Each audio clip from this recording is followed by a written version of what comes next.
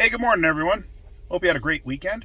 I want to go over something real quick with you if you got a Honda. It doesn't affect all of them, but it affects quite a few of them.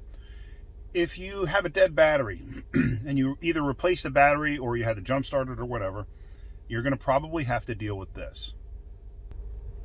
There, I got it up and running. There's the radio. You go to turn on the radio, you hit the power button, and uh-oh, you got enter code. So now what? Well, you have to enter the code. And I want to show you how you do that. Uh, there's a couple of ways to do this, or a couple of ways to obtain the code, I should say. And let me show you where it's supposed to be.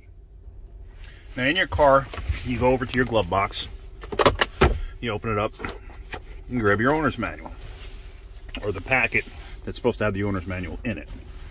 Here's a card. I get it out. And on that card is the number.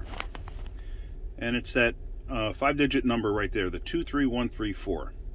That's the code you need. Now, I have seen a sticker on occasion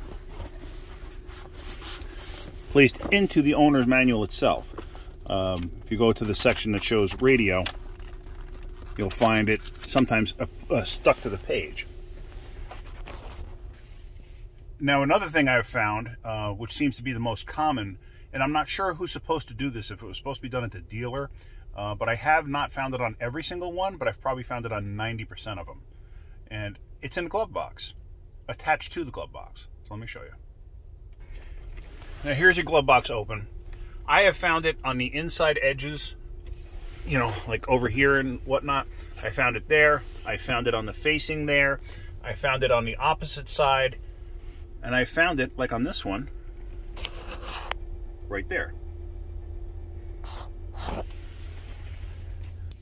So now, real simple, all you got to do is enter the code and the radio will unlock. And let me show you how to do that. So, as we said, the radio code was uh, 23134. So let's enter that right now two, three, one, three, four. And there it is. Radio comes back to life. Now you can use it. Now on some Hondas that have uh, navigation, there's a separate code for the navigation system. And you'd have to go in and enter that uh, to get the navigation system to work. Now if you can't find that card or that sticker on the side of the glove box, then it becomes a little more difficult.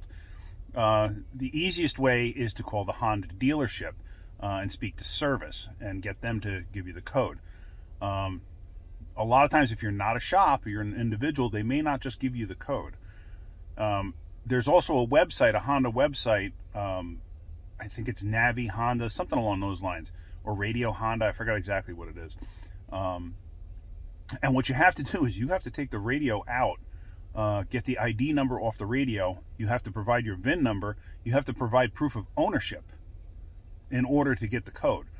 So it could be a little bit of a pain in the neck. So I hope this helps some of you. Um, some of you might not know this. I'm sure a lot of you do know this. But, you know, any little tip helps as far as I'm concerned. So if you like my videos, hit the like button. Uh, if you can, please subscribe. I'd appreciate it. It'll help me make more videos. So I hope you guys have a great day and keep wrenching.